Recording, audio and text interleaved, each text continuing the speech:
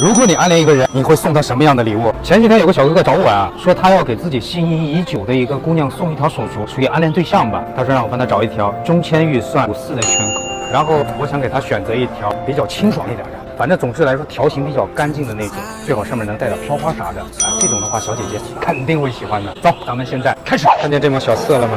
水头还可以啊，水头很不错，底子也干净很清晰，出来以后就有仙女镯的感觉啊。老板，这个拿出去看一下。现在咱们把这个拿出来啊，自然光下去看一下，看着比较真实一些。这个绿呢，咱们统称为金丝绿，寓意非常好，戴起来了清爽干净。刚才的话，咱们为什么要拿到外面啊？因为一个是看颜色，另外一个呢是它的毛病啊不方便当着货主的面去讲，所以说咱们拿出出来的话，给大家更看得透彻一些啊。刚好它是做到五六的啊，给他看看能不能在中签数拿下呢？是我大概一个理想价位。走，中签数砍判。老板这个开多少？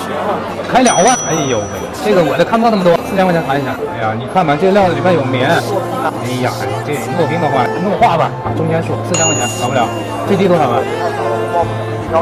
四千块钱，我也加到头了啊，再不能超了，预算就在那放着呢。中签数超太多没法搞啊，问一下吧，还不行。我感觉我的这份姻缘啊，就因为这几百块钱，估计就没了。再给你最后讲，咱不磨着吧，六千八百块钱，六六发发就成全我这段爱吧。你也看出来我的诚意了，是吧？我不买，我跟你讲这么半天干啥？是不是？关键我又不自己戴，是我女神呢，好吧？是不是啊？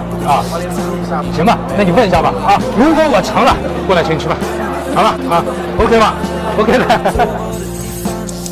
手镯已经洗出来了，咱们看一下起货效果。来，再看一下这抹绿呢，全部画在手镯里，而且呢，整体哇，有一种小白橙的感觉，很清新。这抹小，而且呢。